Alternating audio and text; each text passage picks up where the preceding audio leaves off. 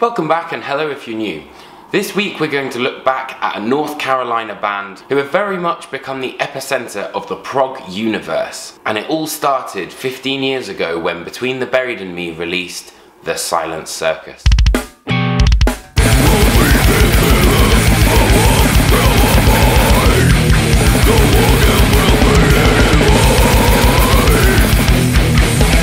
So, the Silent Circus is significant for a number of reasons. The current lineup that we've now come to know and love wasn't necessarily always the same. However, two founding members, Tommy Rogers and Paul Waggoner, were in the band, but this was just before Blake Richardson joined on drums, Dan Briggs joined on bass, and even Dusty Waring joined on guitar. Listening to something that would be the equivalent of the Silent Circus today, you'd think not really too much of it.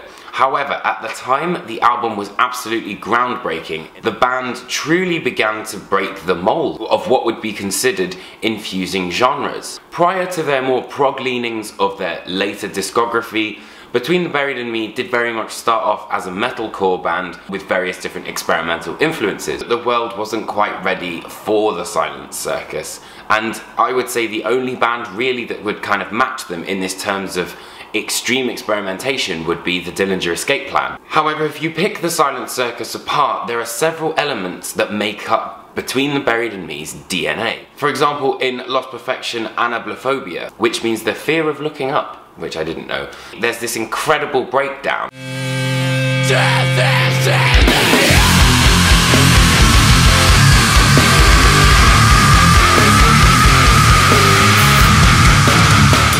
And again later on in the song there's another fantastic riff where the band really go heavy.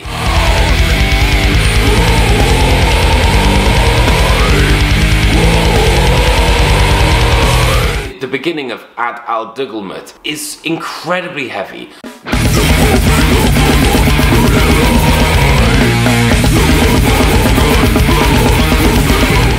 One of my favourite bits of the Silent Circus has always been that hardcore two-step section of Destructo Spin.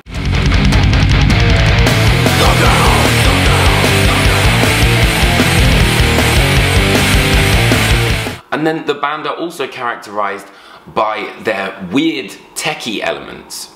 For example, in the opening two tracks, Lost Perfection A, Coulrophobia, and Lost Perfection B, Anablephobia. Particularly in the second section where all the instruments individually drop out before going absolutely crazy.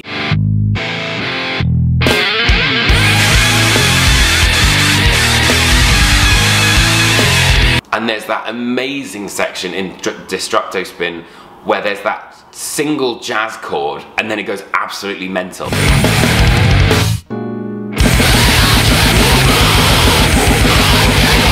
And it was also the birth of what you could argue is a traditional Between the Buried and Me riff. By this I mean that classic sort of incredibly technical but also very groovy at the same time. For example in Lost Perfection A.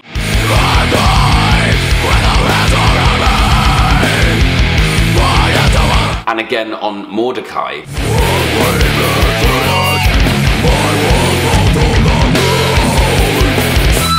Which leads me into probably one of the most important elements of Between the Buried and Me, which is melody. Midway through Mordecai, everything kind of cleanses and you've got this amazing jazz guitar section from Waggoner, which would eventually become his signature sound, I might add.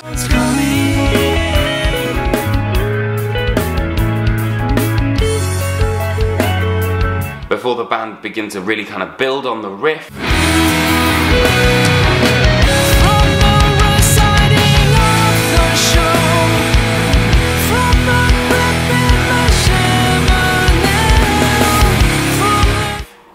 And then there's that atonal bit which every single time I listen to it makes my hair stand on edge.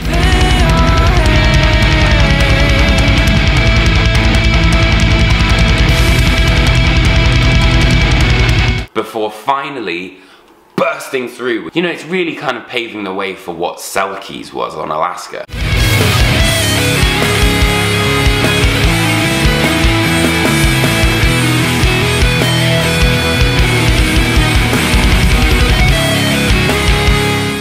That's been something, you know, aside from the technicality and the progginess, those melodies have really stuck with Between the Buried and Me. And then of course you've got their progressive nature, which was pretty much there from the beginning. So elements on the introduction of Camilla Rhodes, for example, that mental riff.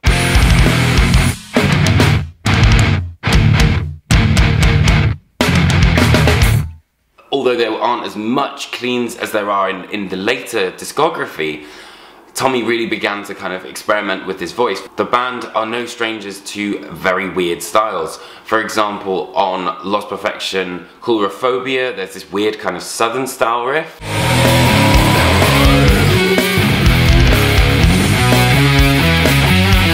And then following Mordecai's exit, there's Reaction, which is this really kind of relaxing post-rock sort of sound. It only lasts for about two minutes, but it really creates a nice interlude between the absolute madness.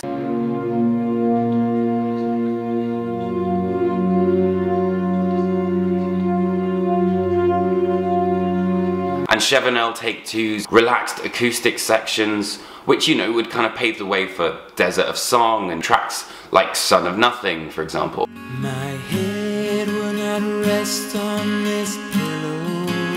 And then in Destructo Spin, there's a real sense of like black metal.